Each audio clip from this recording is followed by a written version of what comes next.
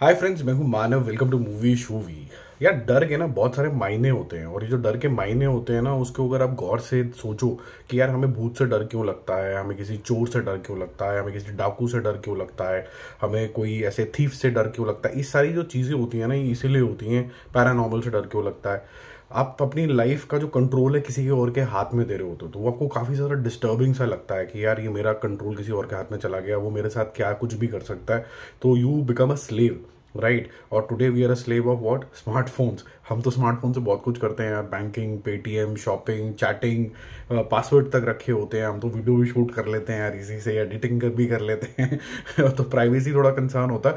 और कुछ लोग तो फिर टेलीग्राम के ऊपर काफ़ी डिपेंडेंट होते हैं. अब ऐसी सिचुएशन में जब पूरी ज़िंदगी जो है, आपकी लाइफ जो है, वो फ़ोन के थ्रू चल रही है, और वो फ़ोन कोई अगर कर ले हैक तो फिर आपको जो घबराहट होगी तो क्या होगी? और आपको ये पता भी ना हो कि क्या हो रहा है और आपकी ज़िंदगी जो है वो टंबल होती चली जाए एक के बाद एक। तो ऐसी ही कुछ कहानी है, ये आपको अच्छा खासा स्केयर क्रिएट कर देती है और सोचने में मजबूर कर देती है कि यार अगर मेरे साथ ऐसा हो गया तो फिर मतलब थोड़ा सा प्रॉब्लमेटिक है। और how well we can use the phone now और what all should be kept on phone ये सब चीज़ें जो है काफ़ी क्रिटिकल हो जाती हैं।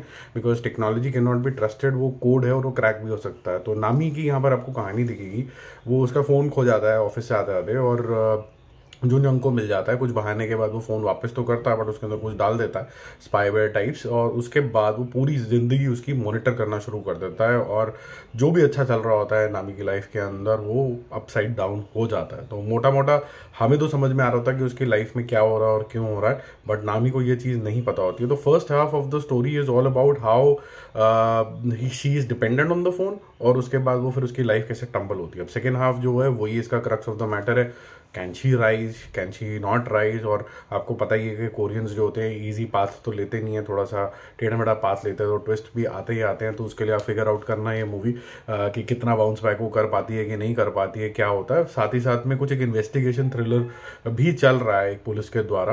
वो क्या है, वो मैं थोड़ा सा छोड़ दूँगा, वो भी कुछ लीड इन करता है। तो मोटा मोटा ये जो आपको स्केयर क्रिएट होता है कि भाई आपका फ़ोन है, जैसे मैं यहाँ बात करूँ, लेकिन किसी और के पास भी ये सेम चीज़ लाइव जा रहा है, क्योंकि कैमरा हैक हो चुका है, ये सब चीज़ें थोड़ी सी स्केयर क्रिएट करती हैं।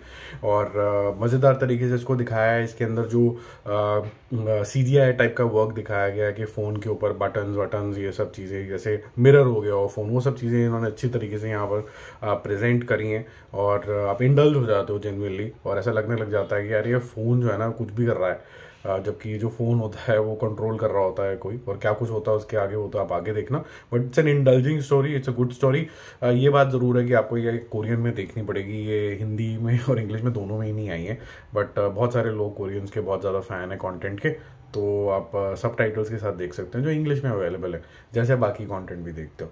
तो जल्दी मिलते हैं और रिव्यूज़ और अपडेट के साथ। जाते आते मेरा जो मूवी शूवी स्कोर रहेगा, इसके लिए रहेगा nine out of ten it's a good content it is educative content and it creates that fear so that we are cautious enough which is the purpose of this movie bye bye